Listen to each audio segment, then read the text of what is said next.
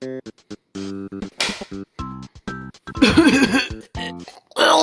hello guys, welcome to Bullshit Facts, and today I'm gonna show you what happens when you plug in a USB device into the wall, so let's go do that.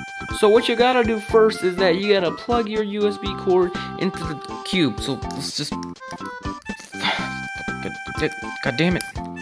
Plug in, god damn it. God damn it. One hour later. Alright, so after you plug it into your USB device, you just stick it into the wall, so let's do that. So yeah, that's all for bullshit facts. I'm come back for more bullshit facts next time. And fuck you.